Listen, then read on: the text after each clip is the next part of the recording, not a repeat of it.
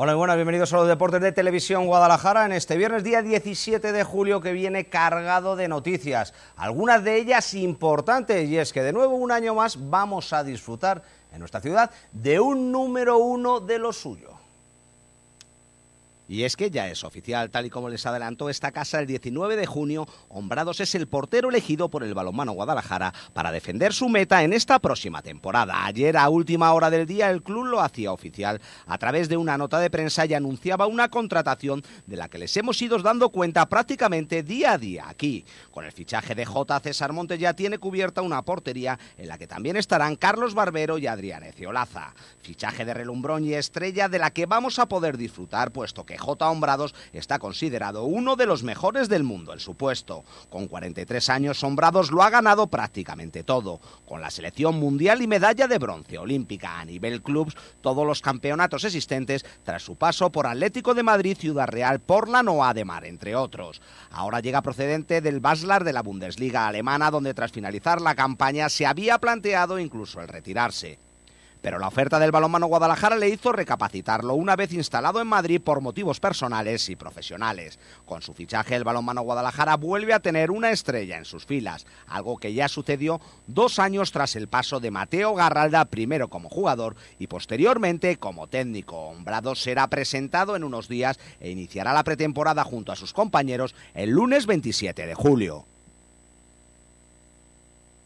Pues pedazo fichaje para el balonmano Guadalajara, que insistimos y adelantamos aquí el día 19 de junio. Nos alegramos de que se haya concretado seguro que vamos a disfrutar y de lo lindo con hombrados vistiendo la elástica del balonmano Guadalajara. Cambiamos de deporte y hablamos ahora de fútbol y nos vamos directamente a la actualidad de un Deportivo Guadalajara que hoy ha llevado a cabo el penúltimo entrenamiento de la semana y lo ha hecho en el Pedro Escartín, en el césped.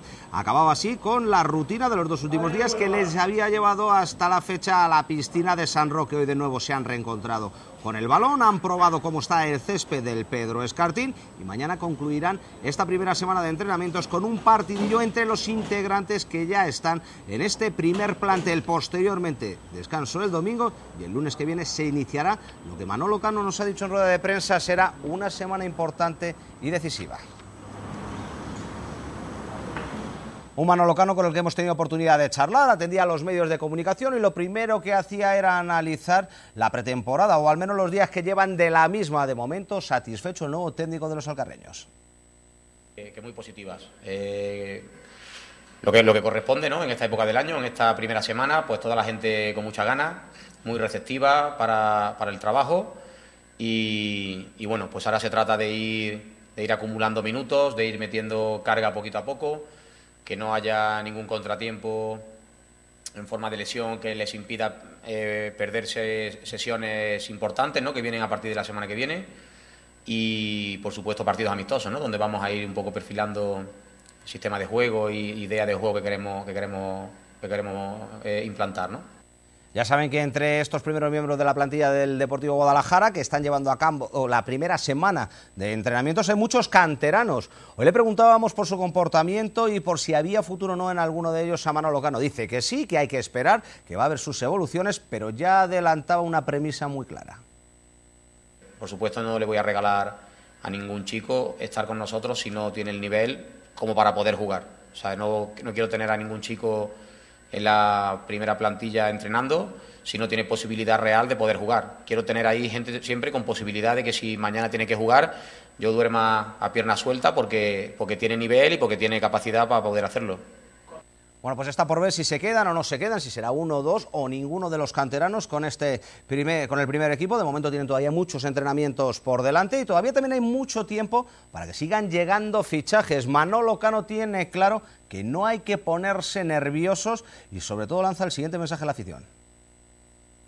O sea, sí me preocupa que se pongan nerviosos, lo que sí les diría es que estén tranquilos, que aquí no hemos venido eh, aficionados al fútbol, sino gente que llevamos muchos años en esta profesión y, obteniendo muy buenos resultados. Y lo que tenemos que saber es el presupuesto que tenemos, lo que hay en el mercado y que tenemos que tener sangre fría para poder hacer un equipo competitivo. No podemos ocupar plazas, digamos, para estar tranquilos de que ya tenemos el equipo completo y luego dejar pasar oportunidades porque tenemos las plazas cubiertas. Tenemos que ir al mercado a por, lo que realmente sabemos que sí nos interesa y para lo que no nos interesa, esperar. Es, cierto que, la gente se puede poner un poco nerviosa de decir, estamos, pero es que estamos todavía a 17 de julio. Falta más de un mes para empezar la liga. Yo, en muchos equipos, nos ha venido gente la última semana, o sea, la misma semana de empezar el campeonato. Eh, yo he estado muchos años en segunda división y en la última semana, las dos últimas semanas, eh, empiezan muchos movimientos eh, de futbolistas que no tienen cabida, equipos que quieren aligerar plantilla. Son futbolistas que nosotros, yo tengo un conocimiento muy amplio de la segunda división y son futbolistas que tenemos que tener hueco para poder, para, que, para que tengan cabida con nosotros. Y son futbolistas que te garantizan que el equipo suba de nivel. Entonces no podemos precipitarnos, hacer el equipo completo y cuando luego vienen todas esas oportunidades, ¿qué pasa? Le decimos a un futbolista que hemos cogido que se tiene que ir. Yo creo que hay que fichar lo que está en el mercado y nos interesa, eso cogerlo seguro y para esas dos, tres cosas que pueden presentarse eh, en las últimas semanas, tener hueco. Y entre esos futbolistas que tienen que subir el nivel del Deportivo Guadalajara de esta 2015-2016 está Migueles. Ya, ya, saben que ha sido el, el, último en ser anunciado de manera oficial, es el cuarto fichaje. Hoy el técnico hablaba así de lo que busca en él. Sí, la verdad que es un futbolista que lo conozco muchísimo, que he tenido la suerte de disfrutarlo en segunda división con el Alcorcón y de sufrirlo también en segunda división en el Racing, porque la verdad que el año pasado jugó los dos partidos contra, contra el Numancia, contra nosotros, y, la verdad que lo hizo muy bien. Y, es un futbolista que nos tiene que dar muchísimo, ¿no? En ese juego entre líneas, en el último pase, en, la pausa que todo equipo le hace falta, ¿no? Porque yo creo que somos un equipo muy intenso, pero con el balón un equipo que también sepa tener pausa y tener, y tener criterio, ¿no? Y sobre todo el tema del último pase, que es lo que más vale en el fútbol. Y ese futbolista es el que nos va a dar esa pausa, ese criterio y, último pase. Delantera, delantera y los que vienen de atrás con Edipo, Filippi y Miguel, todavía falta por llegar no, Faltaría algo, faltaría algo, sí, porque bueno, Edipo le, también le cuento en banda, un futbolista muy rápido y un futbolista que, que actúa eh, sobre todo en banda y, bueno, con, con Filip, con Miguel, haría falta alguna cosita más. Pues en el Deportivo Guadalajara de este año no solo llegan nuevos futbolistas, sino que también va a haber nuevo sistema. Llevamos cinco temporadas acostumbrados a lo que primero creó Carlos Terrazas, una metodología que posteriormente fue seguida por Carlos Pérez Salvachúa. Hoy era el momento de preguntarle a Manolo Cano si los futbolistas, muchos de ellos que han estado incluso tres años trabajando con el antiguo sistema de trabajo, le estaba costando adaptarse a su nuevo técnico. Yo creo que no, yo creo que no les va a costar porque, bueno, si hay una cosa buena, pues que los equipos de terraza son súper disciplinados ¿no? y súper trabajadores. Entonces, eso me facilita mucho las cosas. Entonces, ahora simplemente es, a lo mejor, cambiar tres cosas que al final no son tantas y, y, además eh, lo que yo pido es muy fácil y lo puede hacer cualquiera, es cuestión de actitud y de concentración. Yo no pido que nadie la baje con la escuela y la meta por la escuadra o haga un control orientado y se vaya de dos. Eh, lo que yo pido son cosas muy fáciles, que está al alcance de, cualquier futbolista que tenga actitud y tenga concentración, y yo creo que no le está costando ni, le va a costar. Suelo siempre tener en la mente 4-2-3-1 y yo creo que nos vamos a mover por ahí. Y, y, yo creo que estamos fichando futbolistas para ese sistema y podremos variar a 4-1-4-1, que es básicamente lo mismo adelantando un poco a uno de los pivotes o metiendo futbolistas, quitando un pivote por un futbolista más ofensivo, más como, o sea, como, como, como, como, dos cuñas, ¿no? Un pivote más defensivo y dos cuñas, pero yo creo que, que tenemos futbolistas para poder desarrollar 4-2-3-1, por ahí. Y por último, valoración del calendario que salía de forma oficial ayer y que dictaminaba que el primer partido del Deportivo Guadalajara fuera a domicilio visitando al Socuéllamos, posteriormente en casa se estrenará ante el Getafe. A mí sí que es verdad que me gusta empezar fuerte, intentar que el equipo se vea arriba, que la gente se ilusione desde el principio, ¿no? Porque yo creo que eso es al final es un aliciente, ¿no? Que, siempre cuando empiezas bien es un plus añadido para todo el mundo, ¿no? Y es una inercia que si la coges luego cuesta, cuesta que te bajen de ahí. Por nombres, el Castilla puede ser, pero no sabemos quiénes van a ser los realmente equipos complicados. Tenemos que pensar solo en Socuéllamos, y ir con toda la ilusión, con toda la gana de, empezar sumando tres puntos que serían vitales para, para empezar ya desde el principio ilusionándonos y viéndonos ahí arriba.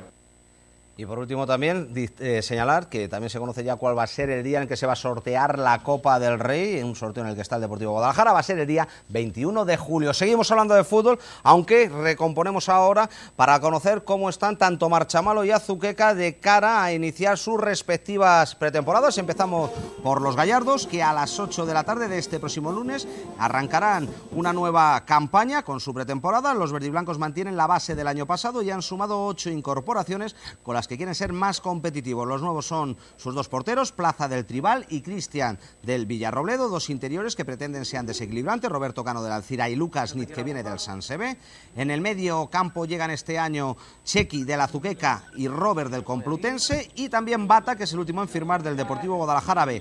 Arriba a la espera de lo que suceda finalmente con Cabanillas, pendientes de ofertas de segunda B, el gol lo deberá poner Jorge, uno de los máximos goleadores de la preferente, que llega también desde el Complutense. A todos ellos hay que sumar al núcleo duro que hizo una gran campaña el año pasado, los de La Plata, Llana, Manolo o Miguel Pérez, entre otros.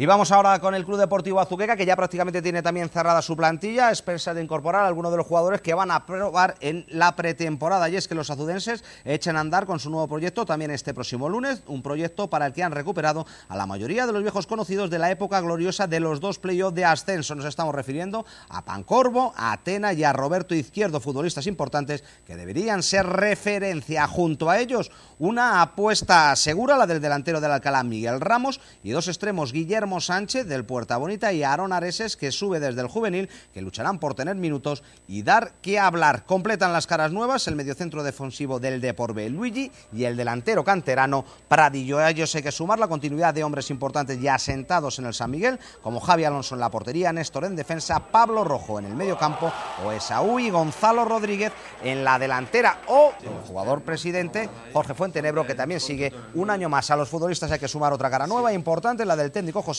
que se estrenará en tercera división tras su paso por el juvenil División de Honor del Depor. Los rojinegros también tienen cerradas ya dos partidos amistosos de pretemporada, el día 5 de agosto en su feudo ante el Marchamalo y el 12 de agosto también en el San Miguel frente al Deportivo Guadalajara. Pues hasta aquí los deportes de este viernes. Que pasen ustedes un buen fin de semana. Nos vemos el lunes en el mismo sitio a la misma hora en la página deportiva de los informativos de Televisión Guadalajara. Que tengan unos buenos días por delante.